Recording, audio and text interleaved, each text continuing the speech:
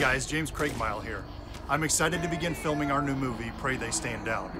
I talk with the directors and the producers, and we want to give you and one lucky guest the opportunity to fly here to Branson, Missouri to be with me on set. Not only are we going to pay for your plane tickets, we're also going to pay for your hotel, we're going to pay for your food. Oh, yeah, and that one lucky guest, you get to be in the movie with me. It's only $20 to enter. Enter as many times as you want, and we'll see you soon.